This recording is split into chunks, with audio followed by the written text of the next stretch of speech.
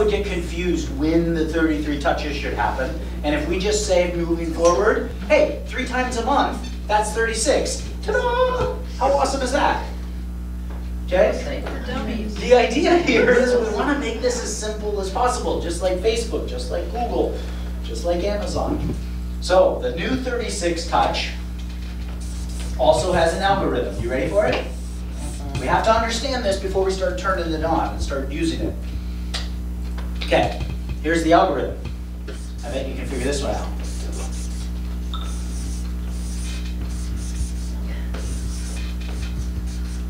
Oh, another room. Will you read that to us? Four twenty-six two four. Yep, four, twenty-six, two, four. It's kind of like Lost. You ever watch that Lost show? Yep. Yep, has nothing to do with that. Okay? This is the algorithm of the 36 touch. And it's pretty easy. What do you think you need to do with your database four times a year? Call. Bingo. It's four calls a year, quarterly, right?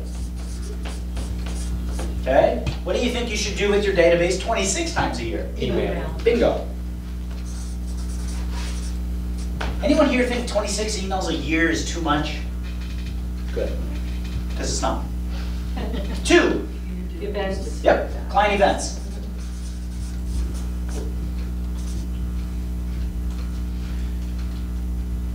Four.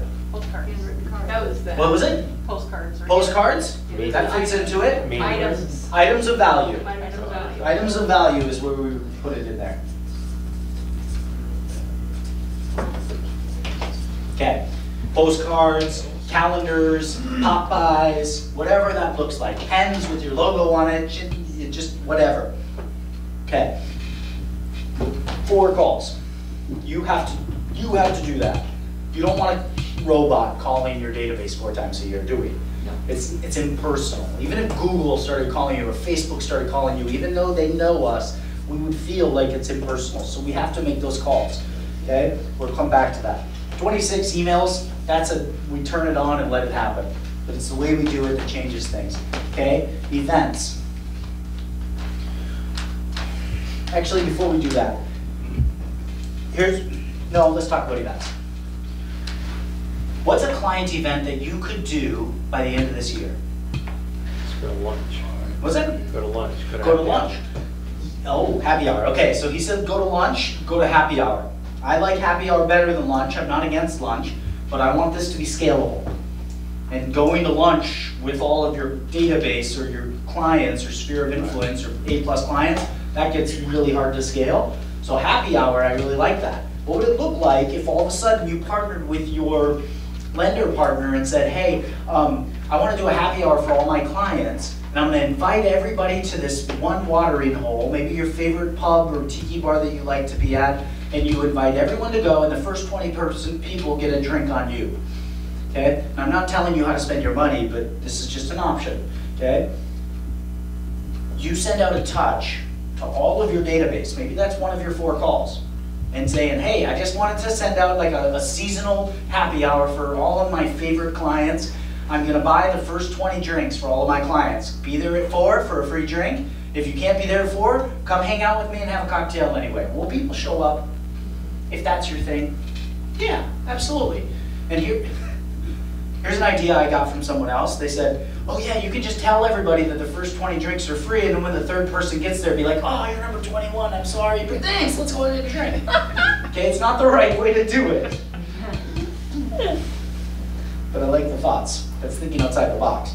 Okay, that's a happy hour. What else could you do by the end of the year? Sell pies, What's that? big, like a big sale or something. Sale, pie, like pie giveaway, different things like that. Yeah, we hear about that. Like Santa family photos. Ah, bingo, Christmas is coming. Do people celebrate Christmas on the islands? Like big time? Some do, some don't? Yep. Do people go take pictures with Santa at like the mall? Right. Which mall? This one? How long is the line to get a picture with Santa? 20 minutes, 30 minutes when it Hour comes to peak season? Oh, hour and a half? About, What? Okay, is it a good Santa? nope. Really? Crazy. Okay. Am I lying? I like, nope, it's true. But he wasn't Here- here's an idea for you. If he's the best Santa on the island, do this. If he's not, go find the best Santa on the island. Okay? Go find the best Santa, partner with one of your vendor partners and hire them to come do pictures for four hours just for your clients. Brilliant. And then you send out a touch to every single one of your database, say, hey, um, we just hired the best dang Santa on the island. It could be the one at Queen Cum, Cum, uh, yep, that one. Queen Kombucha.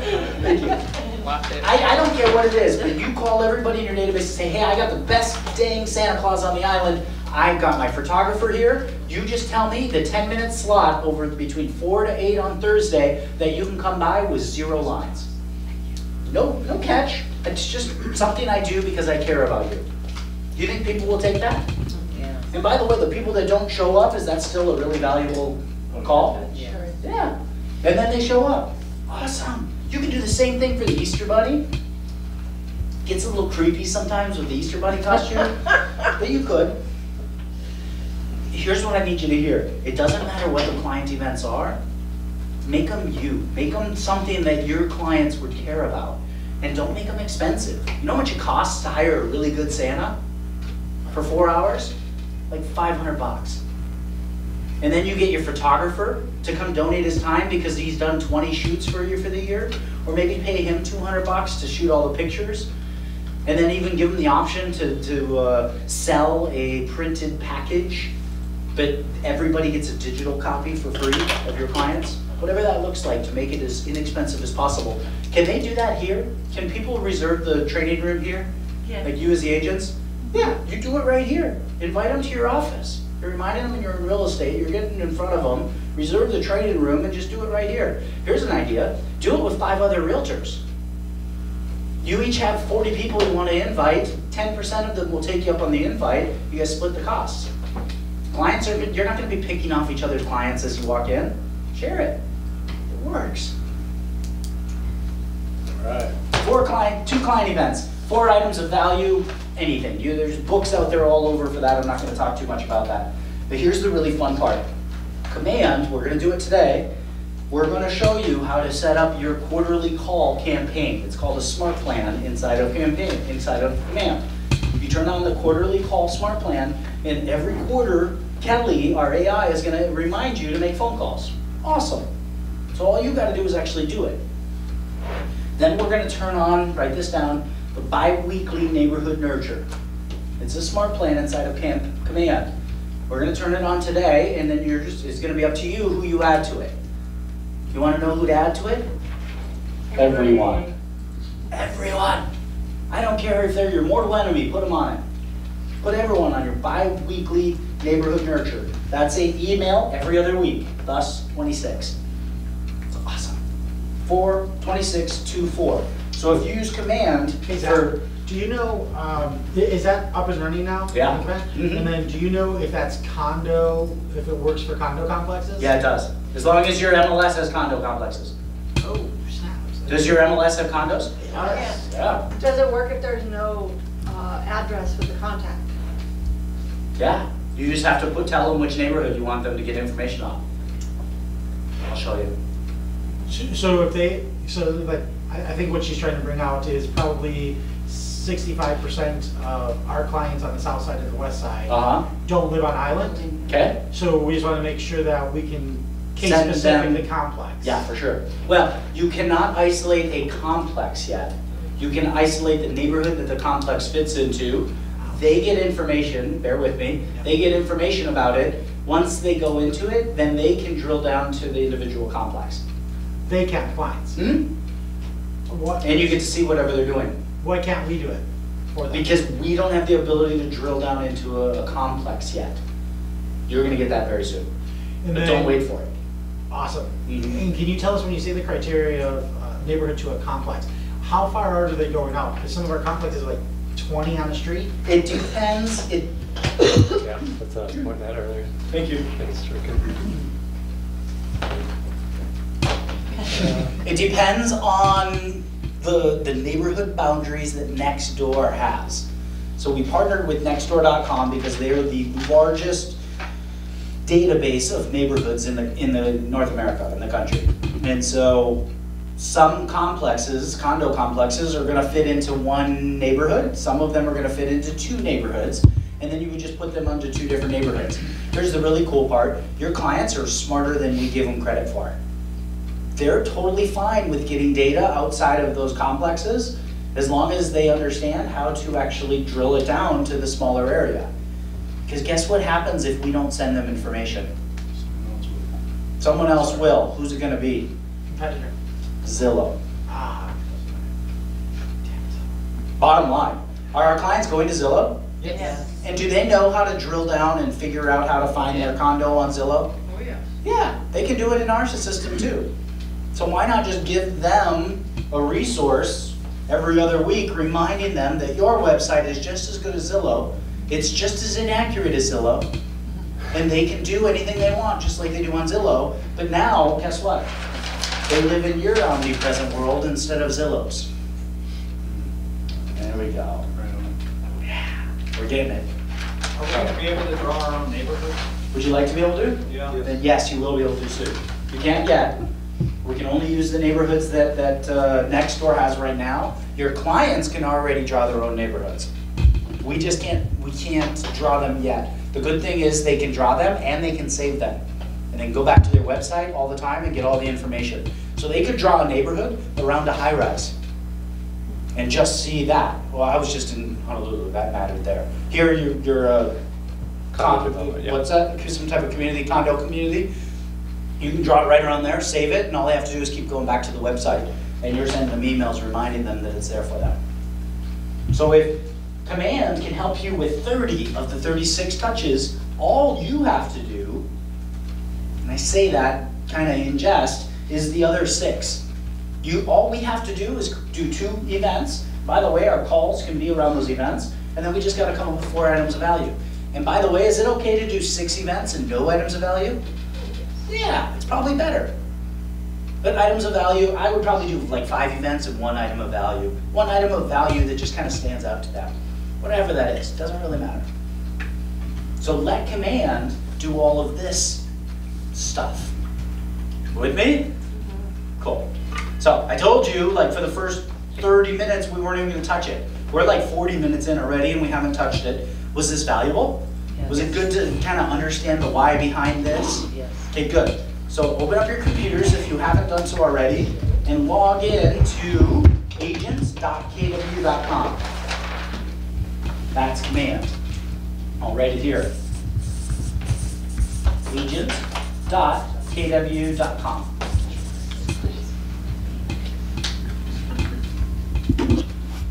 Now, before we get into this, I'm a Keller Williams University instructor, and we do something at Keller Williams University when we teach classes. We ask for ahas. So, for the last 45 minutes or so, we just talked about like omnipresent, the technology, what companies are doing, how we can build mind share, more importantly, how we can be there when the law of emotional proximity kicks in. We talked about the algorithm that is our job, capture, connect, or con, make them contacts, cultivate them for the follow-up to appointment, and then become a fiduciary for them. And then the algorithm on how to cultivate properly, which is a 36 touch. And by the way, 46 touch is awesome too. I'm not telling you stop at 36 if you want to do more touches. So think about what we've talked about so far. In about 10 seconds, I'm going to ask you for your ahas. So like, what stood out to you? What was that, that moment where you're like, oh, that's a cool way of thinking about it? Or, whoa, I've never thought about it that way. Or, man, I'm going to do that now. And then, after ahas, I'll open it up to just general questions. And I like questions at all times because this is an unfiltered class. What are your ahas? Well, just thinking in terms of the algorithm. you Yeah. know, So that when I have words for the steps, it helps clarify for Cool. me. That's cool. Yeah, I like that. It, just keep it simpler. Yeah. Good. What other ahas? 26 emails, that's been my stickler, because I don't like the eEdge pre-done emails, so I don't even like to send them out. Sure. And guess what? Who's opening them? Nobody. Right. And here's the really cool part. Does it matter? Not really. Is it, is it helpful to send an email to someone if they never open it? Yes, get your name there. Yeah, because they see your name at least, and they're like, oh yeah, he's in real estate, or she's in real estate. That's a good thing. Now, here's the big part, the big difference between command and eEdge.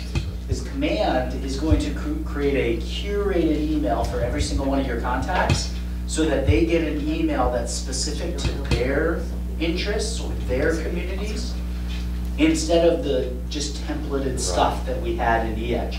Now, here's the fun part, give it a year, this new curated stuff that we're gonna be sending is gonna feel canned. We're gonna always be evolving what those look like and making it feel better. Great aha. I need two more. Before we really poke on this. Stop. I really like the press, the picture with Santa, or not exactly that. Had nothing to do with technology. the idea. Yeah, yeah. And how many different directions you could go with that idea. Good, awesome, yes. Well, ironically, just the other day, I get a text at seven in the morning saying, um, so how much does a real estate agent really charge to list a house? And then she ends up being in a divorce situation. You know, had an agent that she used eight times already with her husband and her agent's husband's, her husband's best friend, blah, blah, blah. But I almost still got in. You know, I just gave my value proposition, Good. gave everything that we are. And, um, and perhaps the next time I can help her, you know, but I, but that just makes me go, if I maybe was always a little more omnipresent, it would have. might have got her before. I might have got it way before this even happened, yeah. Thank you, that's a great segue. So before I open up for questions, I need to talk about this really quickly.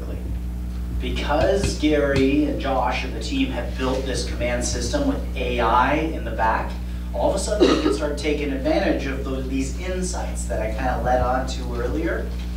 Here's the fun part. Because you put your database into command, because Kelle can analyze your database, and Kelle knows a lot about your database, like where they live, where they work, maybe how old they are, when their date of birth is, all sorts of different stuff that you give Kelle access to by putting it into command. You're gonna be, well, you're not gonna be surprised, because I'm telling you right now, in about six to nine months, Kelle will, will be able to provide you an insight. And one day, all of a sudden, you'll get an insight from Kelle. And it'll be like a notification on your app, or when you log in, it'll be a thing to do for the day, right on your home screen. And it's gonna say, hey, it's time for you to call Nikki. There's a seventy percent chance she's getting divorced in the next sixty days. Mm. Not divorced. Let you sit on that for a second. Okay? And then the next day, you're gonna get another call, hey, it's time for you to call these three people. We believe there's a sixty-seven percent chance there's gonna be a teenage pregnancy in their house.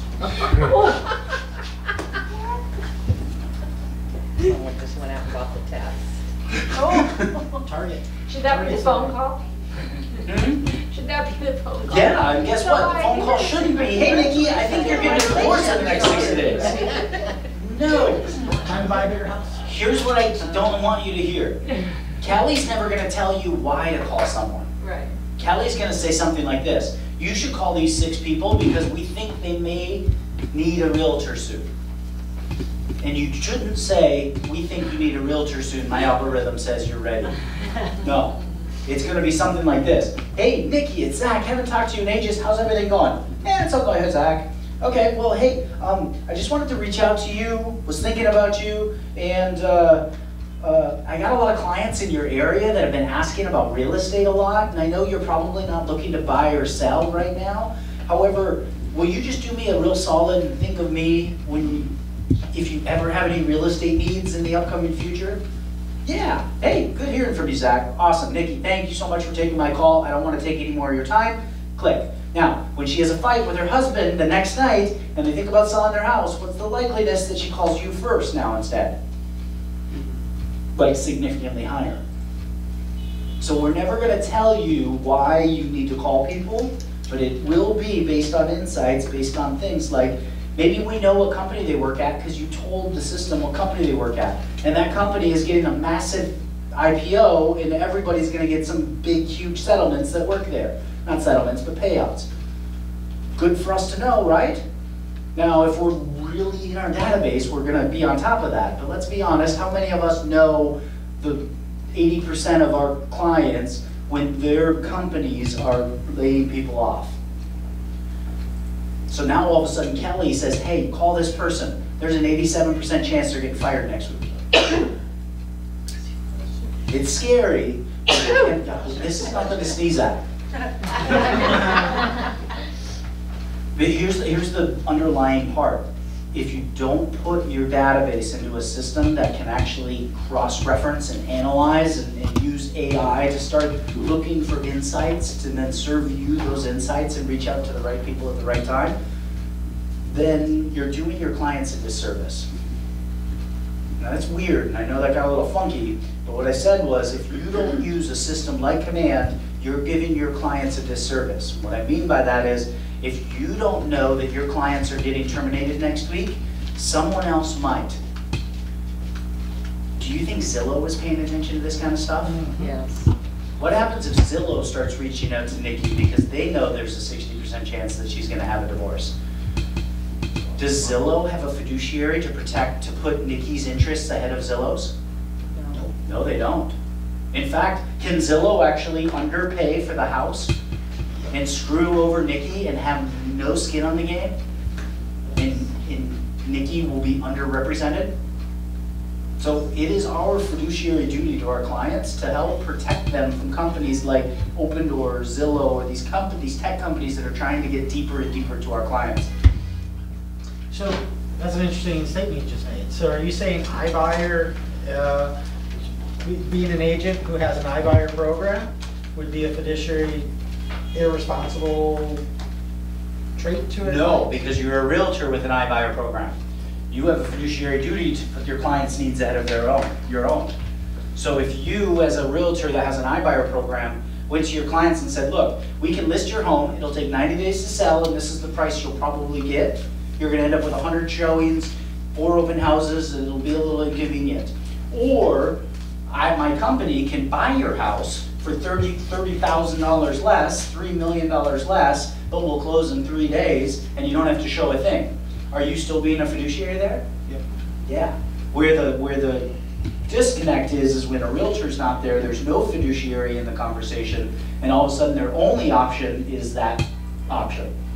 And that's their only option, that's where it gets really fuzzy and fair and hairy.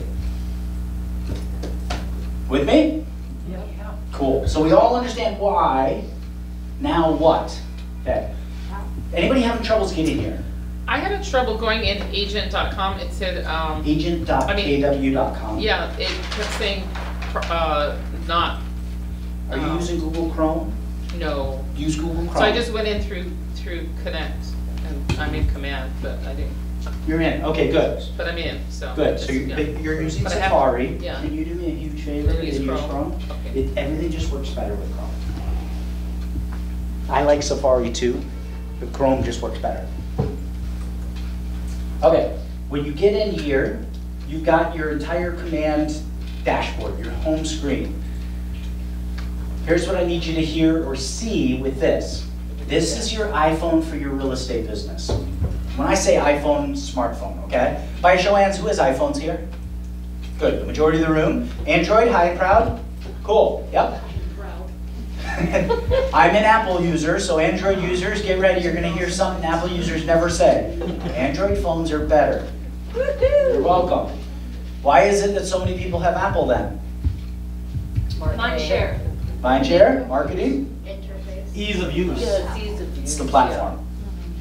So Yep, Apple made the platform first, which means it's really hard to get out of a platform once you're in it. It's the same reason people don't go to Alibaba once they started using Amazon. Also, Apple's system just works all the time, okay? Now, it doesn't matter if you have Android or iPhone, this is your smartphone for your real estate business. Yes. So, so we're gonna, uh, the recommendation is always to use Chrome? Yes, Okay, thank you. I would, yes, always use Chrome. Moving forward with really everything, yeah, yeah. So, if this is your smartphone for your business, then what's on the left-hand side there? What do you think those are called? Apps. Bingo, yeah, we call them applets, because it's a trademark thing, mm-hmm. okay? They're applets, but they're apps, they're just like apps on your phone. Now, here's the fun part. You guys have apps on your phones, Anybody want to care to admit how many apps you have on your phone? No, can't. Would you guys agree you have more apps than you use? Yes. Did you know you can go into your settings and actually pull up the number of apps that you have on your phone? Last time I checked, I had 493. Oh my God. You probably have over 400, so don't be giving me this look back. Okay, now some of you don't, you're like 30. Probably not, okay. Here's what we know. Do you use the same 20 apps 80% of the time? Yes. Sound familiar? It's the 80-20 principle, it shows up everywhere, okay? The command platform is the same. You have all these apps over on the left-hand side, more apps than you're probably ever gonna use. What you need to know is which apps you need to focus on first. Here's the best way I can explain it, make this super simple for you. When you got your iPhone, you started using it, and you started using it a lot. Anybody here not have a smartphone? Does this won't make sense to you. Okay, good. When you got your iPhone, you have all these apps on it. And you did what? There was the first app that every single one of you used. You ready for this? Like, you all know it. Doesn't matter if you're Android or iPhone, what is it? Phone. It's the phone app. It's the first app we all started using on our iPhone. I'm just gonna say iPhone from now on. Android users, I'm sorry, but the majority are iPhone, okay? Then on your iPhone, you started using maybe this one. Mail. Voice. Mail. Oh, yeah, voicemail, messages, mail, it's just messaging, okay? Then this one, that's where you could go on and like search anything at any time. Google, yeah, Chrome, Safari, it's your, it's your internet browser. I heard someone say Maps, that's absolutely the next one. Anyone here use Maps more than they like to admit?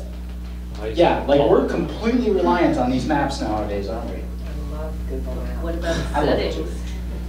Settings, eh, Contacts. I don't know that much. Contacts are in your phone usually. Yeah, contacts are right here. How about this one? Ooh, this one was revolutionary, changed our world. Martini. Martini time. No, flashlight.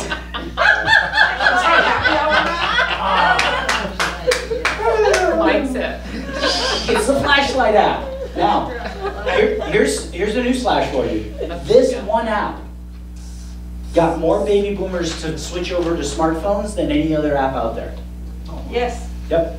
They, they, they were at a restaurant and they were like, I don't even know, th- smartphones are for the birds. I'm never gonna use it, I don't want it. And then they were at a restaurant once and they looked over at the table next to them and someone pulled out the flashlight and they were reading the menu. And they were like, I need one of those. And they bought a smartphone and they were like, I need a flashlight in my pocket at all times. And that literally is what people bought smartphones over it. I'm not saying you're the one, but chances are it may have been a part of why you got a phone. Okay? Then there's another app. Ready for it? Anyone use that one a little bit? Facebook. All the time, right? And then one last one. It's Instagram or just your camera in general. Anybody, any, did I miss any? Exactly. Like, that's it. We have like 300 apps on our phones, and these are like the only ones we use. Now, here's the really fun part. I love this. Okay? It's really important. I read this on the internet, which means it has to be true. Did you know that the smartphones in our pockets, these supercomputers, are a thousand times more powerful than the supercomputer that was on the space shuttle that first landed on the moon? Wow. Now, I told you I read it on the internet, so I have no idea how true that is, but it's probably pretty accurate. It may even be 10,000 times more accurate. Now, you may be sitting there like, we never went to the moon, whatever, okay. You've got a supercomputer in your pocket, okay? You, on average, look at this thing 150 times a day. Have any of you, be honest, left your cell phone, your smartphone, at the dinner table at a restaurant before? Yep. What happened? Chaos. Panic. Like full-on hyperventilating until you had your phone back in your pocket. Don't like flash. And those of you that never left a phone behind before, maybe you put it in a different pocket. Like you put your phone in a different pocket, and all of a sudden, 10 minutes later, you're like, where is it? And then you spend 30 minutes looking for it until you find it in your back pocket. Yeah. It's better when you're looking for it while you're talking. on Or when you're talking on it, or your glasses that are on your head. Yeah. Okay. This is funny for some of you in this room because you might have been here when I got out of my Uber and my phone was still in my Uber. About two hours ago. Panic. She was like, she was like, hi Zach. I was like, don't talk to me. I need to get, I need to log into Uber right now, wasn't I? Oh, dude, I was like, I need my phone right now. I was like digging in. He was driving away. I was yelling at him. Ten minutes took me to get my phone back. Full on anxiety. I was watching my phone, my computer, tracking my phone coming back. Even after he called and said he's coming back, I was still tracking him and updating him, looking out the window, trying to find him. Panic. Now, we are completely reliant on these smartphones, these supercomputers in our pockets. By a show of hands, how many of you ever took a class to learn how to use it? One. Ironically, you didn't actually take a class to learn how to use it, you took a class to learn how to use it better. She's like, no, I actually took a class to learn how to use it. Okay, cool. Let me go here. Facebook. Anybody spend a bit of time on Facebook? Probably more than they'd like to admit. It's a platform. We're super users, like we are experts on Facebook. Anybody take a class to learn how to use Facebook? No? I figured you'd be the same. No? Okay, good. So hold on, how did you learn how to use your iPhone, or how did you learn how to use Facebook then? Trial and error. Trial Yeah. yeah. Same thing. Here's what happened. You got your iPhone and you started using this app. And then you started using this app. And then you started using this one. And then you stopped using this one as much and you kept using this one. And then you use this one like daily. And then you use this one. And then you stop using this one and you move to this one. Here's what I know. When you got your supercomputer and you pulled it out of the box, if there would have been a message in there that said, these are the 100 apps that you're going to have on your phone in a week and you need to know everything that they do, you would have had an anxiety attack and you probably would have vomited, put the box back together and returned it. The way we learn how to use command is the same way we learn how to use our smartphone. You gotta do it one little bit at a time. You gotta play with it, you gotta use it. Same way you use Facebook. How'd you learn? You start by commenting, then you like to post, and then you post yourself, and then you poke someone, and then you're like, that's weird, I'm never poking someone again. And then you sent a direct message, and then you went live. Okay? You didn't start learning how to do it all at the same time, you did it little by little by little. Command is the same thing. And the little thing that I need you to do first is get all of your contacts into command. I can't do this for you, and we can't do it today. But you have to get your contacts into command. Write this down. HiSync.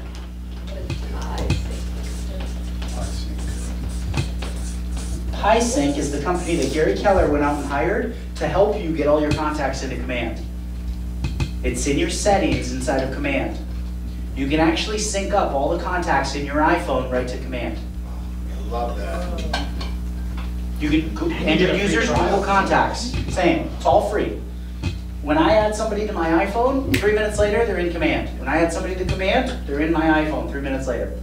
Awesome! By the way, that's just this.